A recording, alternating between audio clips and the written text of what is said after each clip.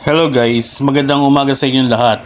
Pag-usapan po natin ng Par Blue at Albino na parisan. Maglalabas ba ng Crimino o Decino? Ayan po ang pag-uusapan natin pagkatapos ng ating intro. Tara guys!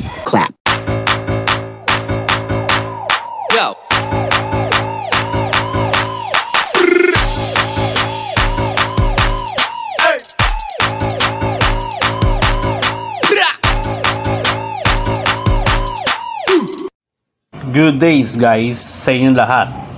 May tanong po si Idol Ray Batad. Good PM po Idol, may tanong po ako. May pardo po ako at albino. Pwede po ba sila maglabas ng inakay na desino o krimino? Sana po masagot po ninyo ang tanong. Salamat po Idol at God bless. Salamat po sa tanong mo, Idol Ray Batad at God bless din po.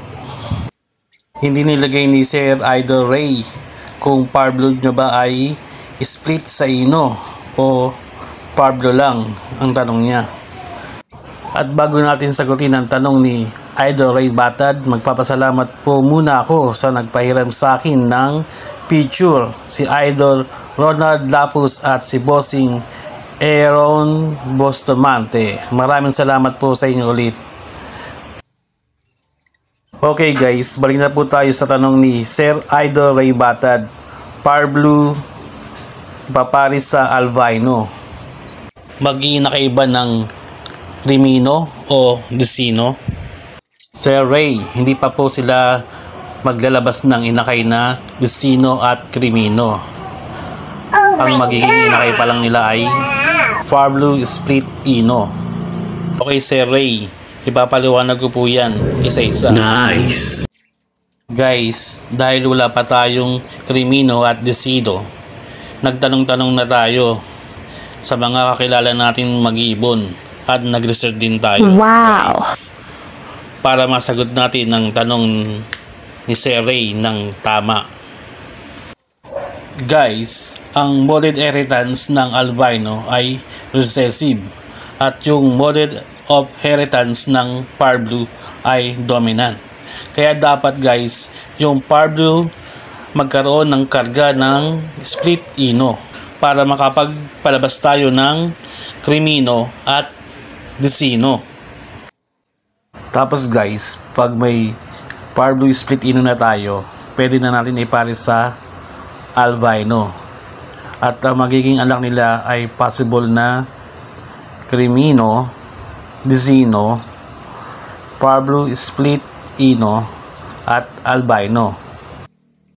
Guys, pag may Crimino na tayo, ipares na natin sa Albino ulit para makapagpalabas tayo ulit ng Crimino, tapos Dizino, Pablo Split Ino, at Albino. Pag may desino na tayo, ipares na natin sa albino para magkainakay sila ulit ng crimino, desino, parblo split ino, at albino.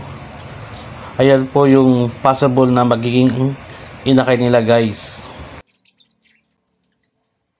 Either Ray Batad, sana po nasagot ko po yung tanong nyo ng maayos. Guys, mag-comment po kayo baka po may may nasabi akong mali o hindi tama.